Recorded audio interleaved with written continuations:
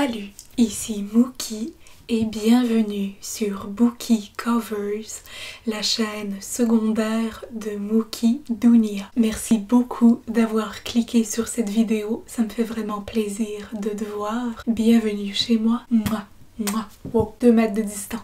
Moi, moi. Bienvenue dans ce book haul, le premier de 2021. Le troisième confinement et ma santé mentale m'ont autorisé à acheter plus de livres, ce qui est un bel avantage puisque j'ai pu encourager euh, ma librairie locale que j'adore, que j'aime beaucoup, excellent service, 100% 10 sur 10, la maison anglaise, la référence en livres anglophones à Québec, moi. Et donc, euh, le mois dernier, j'ai un peu perdu le contrôle, mais je ne vais pas te présenter que des livres que j'ai achetés euh, ce mois-ci et le mois dernier en avril. Je vais aussi te présenter au fond tous les livres qui m'ont été offerts depuis des début 2021. Au moins pour mes livres physiques. Pour ce qui est de mes livres audio et numériques, je ne vais te présenter que ceux que j'ai achetés récemment et donc dont je n'ai pas encore eu l'occasion de parler. Sans plus attendre, commençons ce magnifique book haul avec mes livres audio. Le premier livre audio que j'ai acheté et dont j'ai déjà un peu parlé, The Black Kids par Christina Hammonds Reed. C'est une fiction historique qui se déroule pendant les émeutes de 1992 à Los Angeles, après le meurtre par quatre policiers de l'activiste Rodney King. Le livre se concentre particulièrement sur une adolescente afro-américaine qui se rend peu à peu compte des différences de la disparité qui existe entre ses amis blancs et elle-même. J'avoue que pendant le mois d'avril, je n'ai pas été très portée à lire mes livres audio, mais cette lecture-là a été fortement recommandée et j'ai hâte de la finir. Ensuite, nous avons The Kiss Quotient par Helen Wong. C'est une romance adulte à propos d'une jeune femme qui a un trouble du spectre de l'autisme, ce qui fait en sorte qu'elle est très sensible au toucher, elle est très sensible à certaines odeurs, ce qui fait aussi en sorte qu'elle n'est pas très à l'aise avec sa sexualité. Ce pourquoi elle engage un male escort, un gigolo, pour lui apprendre, lui enseigner comment être bonne au lit. Très awkward quand ta mère est à côté. Ensuite, les livres numériques que j'ai achetés et dont j'ai très hâte de te parler. Nous avons d'abord un livre que j'ai déjà fini. Ah, j'en ai acheté beaucoup d'autres. Je vais commencer par mes livres de non-fiction. White Tears, Brown Scars, How a White Feminism Betrays Women of Color par Ruby Hamad. C'est une œuvre de non-fiction une collection d'essais sur comment les femmes de couleur euh, n'ont pas accès au féminisme que les femmes blanches promeuvent. Par exemple, dans le premier chapitre que j'ai lu, il est question de comment une femme blanche va se servir de sa vulnérabilité pour considérer une femme de couleur comme une agression, comment elle va se considérer bullied intimidée ou agressée dans son milieu de travail alors que la femme de couleur venait juste lui dire est-ce que tu as dit raciste, ce que tu dis, ça, c'est en désaccord avec mes valeurs. Peu importe le conflit, la femme de couleur est toujours considérée comme l'agresseuse et la femme blanche est toujours considérée comme la victime parce qu'il y a une espèce de narrative autour de la demoiselle en détresse qui est obligatoirement une femme blanche. J'avoue que c'est une lecture un peu difficile parce que c'est très cru, ça rentre beaucoup dans les détails. C'est difficile, je vais pas faire de white tears ici, mais c'est dur à lire parce que Beaucoup d'entre nous apprennent juste maintenant à quel point l'histoire qu'on enseigne dans les écoles est effacée. L'effort de s'éduquer vient au prix de mon dieu, ma vie est un mensonge, il n'y a aucune égalité. Si je peux m'exprimer ainsi, il faut creuser assez profond dans ses propres croyances et dans ses propres préjugés pour aborder cette lecture plus ou moins confortablement. Ensuite, dans le même ordre d'idées, nous avons Minor Feelings, an Asian American Reconning par Kathy Buck Je ne suis pas rendue très loin dans cette lecture, mais je pense que ça parle du racisme envers les personnes d'origine asiatique aux États-Unis, mais ne nous mentons pas au Canada aussi. Ensuite, du côté de la fiction, nous avons Daisy Jones and the Six par Taylor Jenkins Reid. C'est une fiction historique que j'ai lue très récemment. C'est à propos d'un band de rock'n'roll fictif Daisy Jones and the Six qui s'est séparé au summum de leur carrière et sous forme d'entrevue, le livre explore pourquoi c'est arrivé, quelles ont été les étapes qui ont mené à la dissolution du groupe. Je vais en parler un petit peu plus tard dans une autre vidéo. C'était une lecture assez intéressante, mais je pense que le format d'entrevue n'était pas vraiment fait pour moi, ou je l'aurais apprécié sous un autre format comme un format audio avec un casting complet. Après, l'une de mes lectures préférées du mois dernier, Cemetery Boys par Aiden Thomas. C'est une fantasy YA avec un protagoniste trans qui euh, s'inspire en partie ou qui prend place plutôt un peu avant Dia de Muertos, le jour des morts. Ça parle aussi des sorciers et sorcières, bruja et brujo. Et c'est à propos d'un jeune brujo, Yadriel, qui a essayé de faire sa propre cérémonie d'acceptation puisque sa famille le considère comme une bruja et ça le fait énormément souffrir. Il y a un peu de transphobie dans le livre, mais puisque l'auteur est trans, c'est exposé avec assez de délicatesse et avec assez de goût.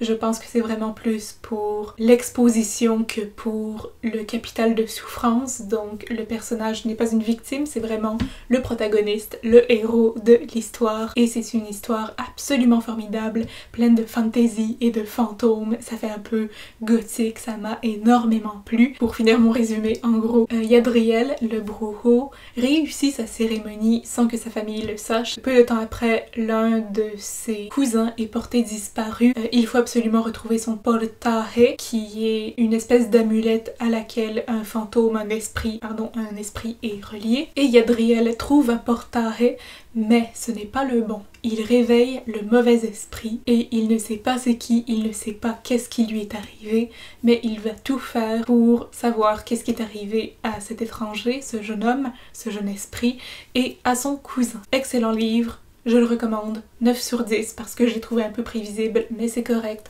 c'est excellent, c'est très bon, va le lire. Après, un livre que j'ai commencé hier, Next Year in Havana par Chanel Clayton. C'est une fiction historique avec une double perspective, la perspective de la petite fille et la perspective de la grand-mère avec à peu près 50-60 ans d'écart. La grand-mère parle de sa vie à Cuba. J'avoue que je suis pas très forte en histoire cubaine, mais ça m'informe, ça continue à nourrir mon cerveau. Et la petite fille y retourne en 2017 quand les relations entre les États-Unis et Cuba commencent à se calmer et elle essaie d'honorer les dernières volontés de sa grand-mère. Jusqu'à maintenant, très bonne fiction historique, très inspirant, très enrichissant et surtout style formidable. Et finalement, pour mes livres numériques, j'ai un livre de Sonali Dev, le deuxième tome d'une série de Rajesh Series parce qu'il était en spécial et parce que je n'ai aucun concept de chronologie pour les séries. Ce livre s'intitule Recipe for Persuasion. Ça s'inspire donc du livre de Jane Austen Persuasion et je n'ai aucune idée de quoi ça parle donc je vais te laisser le découvrir. J'imagine qu'il y a une romance dedans. Parlant de Jane Austen, j'ai deux livres à te présenter. Le premier est une édition vinyle de Pride and Prejudice par Jane Austen. J'avais juste la version française, mais j'avais hâte de lire la version anglaise et j'ai profité d'un rabais à ma très chère librairie pour me procurer cette édition que je trouve vraiment fun. C'est comme... Oh, je trouve ça vraiment le fun, ça me rappelle un petit peu les cahiers que j'achetais pour 20$. C'est euh, de la compagnie Pierre Belvedere. C'est super le fun au toucher, c'est comme tout gravé, j'aime beaucoup. Donc Pride and Prejudice, si tu ne sais pas de quoi ça parle, c'est à propos de cinq filles qui doivent être euh, mariées parce que la propriété de leur père ne peut, ne peut pas leur revenir parce que patriarchie. Et l'histoire se concentre particulièrement sur trois des sœurs Bennett, Jane Elizabeth ou Lizzie et Lydia. Donc c'est leur tribulation amoureuse, enemies to lovers, still. Oh, c'est là que ça vient, ma passion.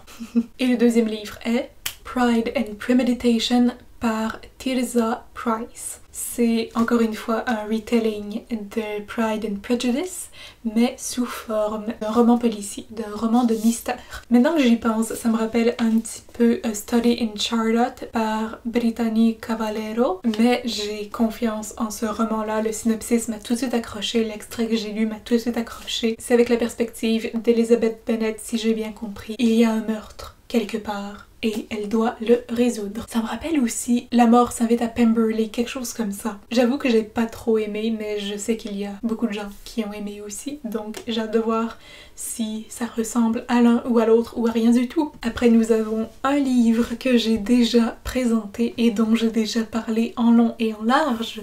Act Your Age Eve Brown par Talia Hibbert, le dernier tome de la trilogie des sœurs Brown. Ça suit la Benjamin de la famille, le bébé de la famille Eve ou Evie, qui se retrouve dans un bed and breakfast après une chicane avec ses parents qui lui disent qu'il faut qu'elle se trouve un nouveau logement et qu'elle se trouve un nouveau travail. C'est passionnant, c'est steamy, c'est tout ce qu'on recherche dans une bonne romance adulte. Qu'est-ce que tu veux de plus? Pour rester dans le thème des romances adultes, j'ai avec moi deux livres d'Alisha Rai. Euh, encore une fois, je n'ai pas le premier tome, mais j'ai le 2 et le 3. Donc un jour, les premiers tomes vont arriver. Girl Gone Viral et First Comes Like. Ce sont deux histoires avec des personnages issus de la communauté Desi, donc d'origine indienne, diaspora indienne, pakistani, etc.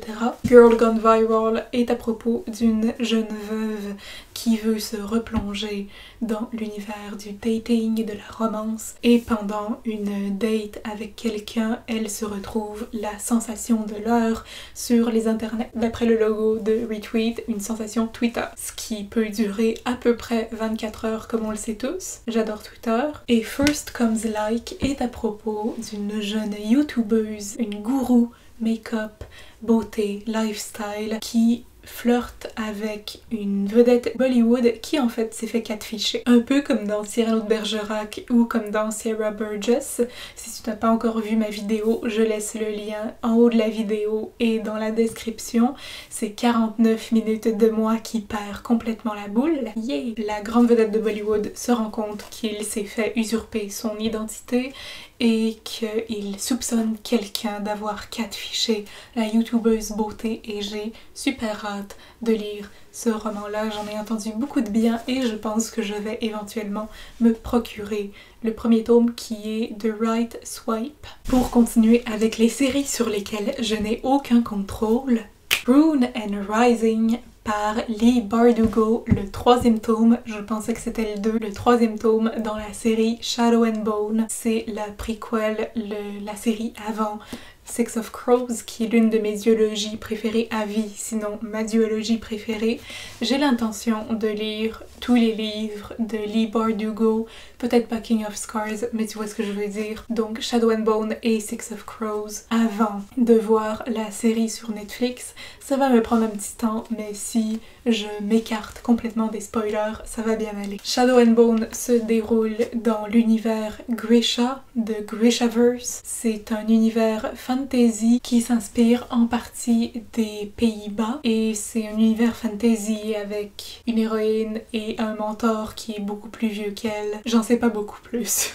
Mais c'est le troisième tome et un jour je vais m'acheter le deuxième et je vais pouvoir avoir tous les livres avec moi et les lire d'un coup. Restons dans les séries avec Love and Olives par Jenna Evans Welsh. C'est le troisième tome de sa trilogie Love and Gelato. Le premier tome se déroule en Italie, le deuxième Love and Luck en Irlande et Love and Olives se déroule en Grèce j'aimerais bien visiter un jour. Et ça suit l'un des personnages secondaires qu'on voit brièvement dans Love and Luck qui s'appelle Olive. Je ne sais pas de quoi ça parle, mais c'est pas grave. C'est une romance foyer, j'ai hâte de la découvrir. J'aime me plonger sans trop en savoir dans les livres. Parce que si je me procure des livres trop hype, comme Daisy Jones and the Six par exemple, je finis par être déçue, par avoir trop d'attentes, être déçue, encore plus d'attentes, trop déçue. Mais ce que je peux te dire, c'est que c'est l'histoire d'une adolescente qui part à la recherche de son père, bien qu'elle n'aime pas trop en parler parce qu'il a quitté sa famille quand elle avait 8 ans. Après, nous avons le dernier tome de l'une de mes séries préférées que j'ai pu me procurer et c'est une copie signée. Je parle bien entendu de The Sky Beyond the Storm par Sabah Tahir. Je sais pas pourquoi je suis émue. Et c'est une copie. Je sais pas de quoi ça parle, je veux pas en parler. Ce qui paraissait une excellente finale qui boucle toutes les boucles, qui laisse les lecteurs satisfaits de ce que j'ai entendu. Pas de spoiler dans les commentaires. Ah, mais c'est tellement, c'est tellement une belle Belle page couverture. Regarde Laia. Tellement badass. J'ai tellement hâte de lire cette série. Oh my god, j'ai tellement hâte de la finir. Ok, trop d'émotions, trop d'émotions. Et finalement, dans mes séries, Concrete Rose par Angie Thomas. C'est un prequel, donc une histoire qui se déroule avant les événements de The Hate You Give. Si tu te souviens bien, The Hate You Give s'inspire des événements réels vécus par les Afro-Américains et la brutalité policière. Le deuxième tome, On the Come Up, parle de la culture hip-hop et du rap, surtout du hip-hop en fait. Et Concrete Rose suit le père de Star, l'héroïne de The Hate You Give. Si je ne me trompe pas, c'est dans les années 80 que ça se déroule, donc c'est un autre pan de l'histoire afro-américaine du 20e et 21e siècle, directement et indirectement. Donc super hâte de voir d'où vient son père. Je pense qu'il était dans un cartel de drogue ou un gang de rue et après il en est sorti, donc j'ai hâte de voir qu'est-ce qu'il a poussé à y entrer, qu'est-ce qu'il a poussé à y sortir c'est quoi ses valeurs, parce que c'est un personnage secondaire vraiment puissant dans The Hate You Give. Pardon, c'est ma cheville. Donc j'ai hâte de voir sa perspective et sa vision des choses. J'ai The Gilded Ones par Namina Forna. Je l'ai acheté parce que la page couverture est le bleu, le doré, genre c'est l'esthétique à laquelle j'aspire. C'est tellement une belle page couverture.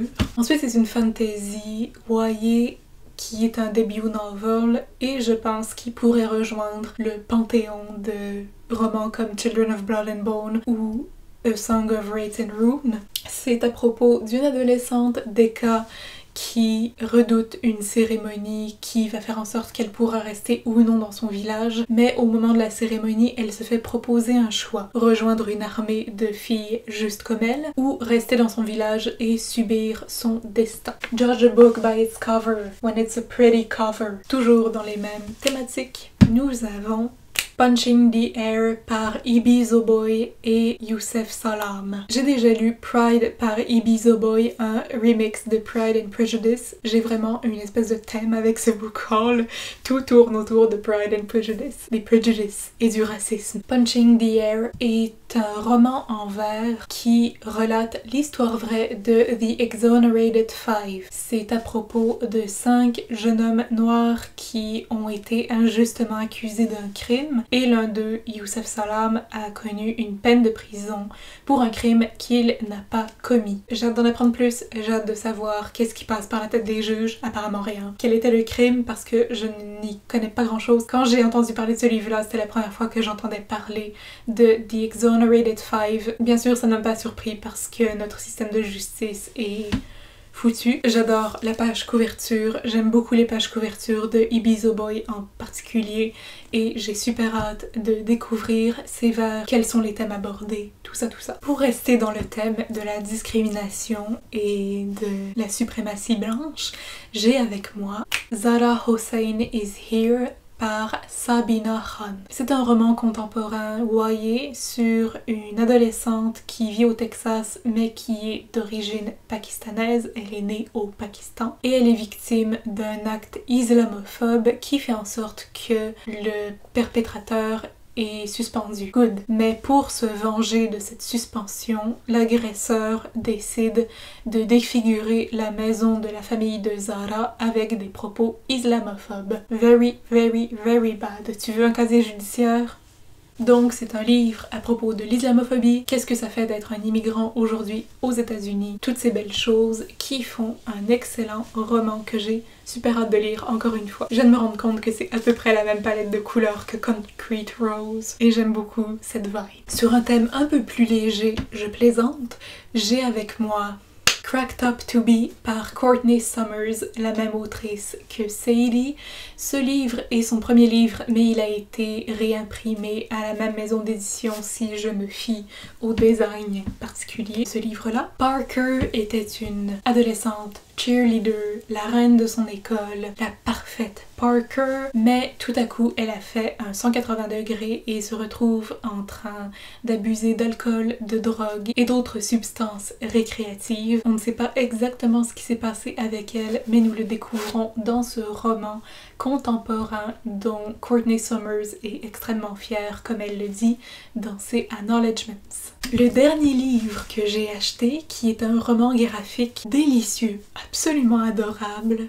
Sheets par Brenna Thumler. C'est un roman graphique avec un style superbe. L'univers des fantômes est en noir et blanc, des échelles de gris, des échelles de violet surtout en fait, beaucoup de violet là-dedans. Et l'univers de la jeune fille dont je vais parler dans un instant est beaucoup plus coloré, Très beau style d'ancrage, j'adore, c'est un délice à lire. C'est à propos de Marjorie qui doit à seulement 13 ans s'occuper de la blanchisserie familiale depuis la mort de sa mère et l'épisode dépressif de son père. C'est elle qui fait les courses, qui s'occupe de l'entreprise familiale et aussi qui va à l'école. Jusqu'au jour où elle reçoit la visite curieuse d'un jeune fantôme qui dit la reconnaître et elle ne sait pas trop si elle croit au fantôme, elle ne sait pas trop si elle croit toute cette histoire, surtout qu'elle a d'autres choses dès qu'elle s'occupait, comme d'un maître yogi qui était... Oh my god, il était le pire! D'un maître yogi qui veut absolument racheter la blanchisserie. Je pense que c'est un roman graphique pour middle school, donc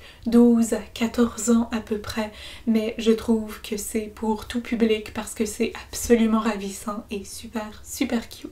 Dans les livres que je n'ai pas eu à payer parce que je les ai loués ou parce que je les ai reçus en cadeau, j'ai d'abord un livre d'Isabelle Allende, Paola, c'est le livre qu'Isabelle Allende a écrit suite à la maladie et à la mort de sa fille Paola. C'est assez triste, mais ça donne aussi un bel angle sur la vie d'Isabelle Allende. C'est très très autobiographique et superbement traduit, superbement écrit. Après, des livres dont j'ai déjà parlé en 2020, mais dont je veux reparler parce que c'est des livres offerts par l'une de mes amies très chères. Je serai un territoire fier et tu déposeras tes meubles par Steve Gagnon.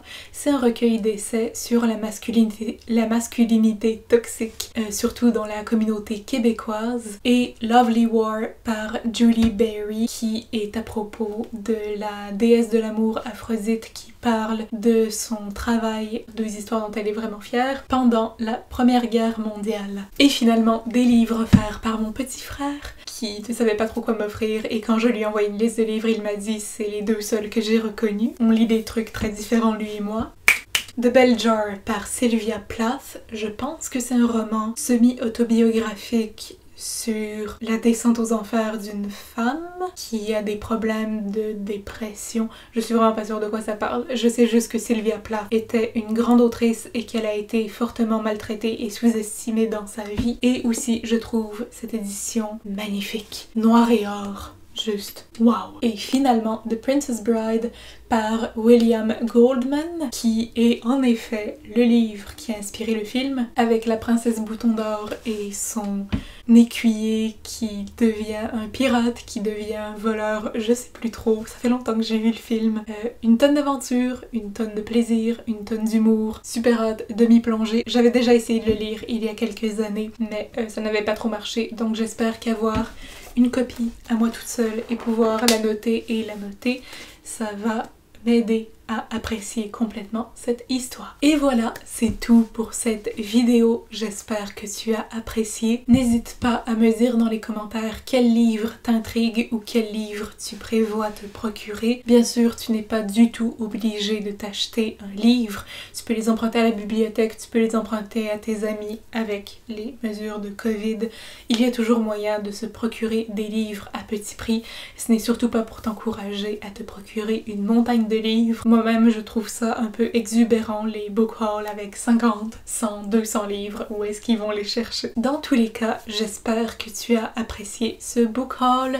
N'hésite pas à t'abonner à ma chaîne, à me suivre sur Instagram et sur ma chaîne principale Mookie Dunia, où je présente mes chorégraphies et autres créations. Tu peux aussi consulter mes autres vidéos, je publie notamment des vlogs d'écriture, j'ai commencé très récemment et j'y pris beaucoup de plaisir. Du contenu littéraire, beaucoup de contenu littéraire, beaucoup de bilans et de wrap-up et maintenant un book haul. Sur ce, c'est tout pour moi. Je m'appelle Mookie et j'espère que tu trouveras ton prochain coup de cœur sur Bookie Covers. Bye! Le livre se concentre particulièrement sur une, une How White Feminine I Can't Talk. Show me the picture. Picture. J'ai de la misère à parler. Recipe for persuasion. Recipe for persuasion. The red. Je veux pas switcher entre les langues.